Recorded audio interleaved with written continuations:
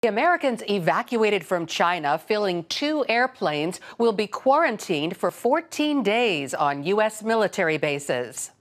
This is the second U.S. government sponsored evacuation of Americans from the epicenter of the outbreak. The virus has killed nearly 500 and infected more than 24,000. The vast majority of cases remain confined to China thanks to extreme measures containing the spread.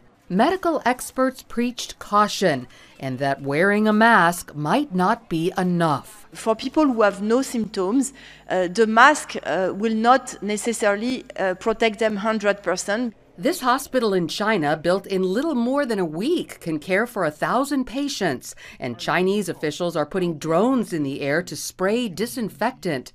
Casinos in the Chinese territory of Macau closed for at least two weeks.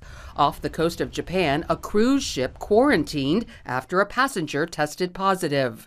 Meanwhile, in Wuhan, ground zero for the outbreak, courageous Christians take the opportunity to spread the good news of Jesus, handing out masks along with Christian literature.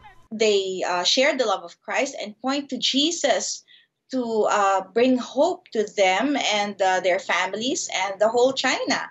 And this is really a breakthrough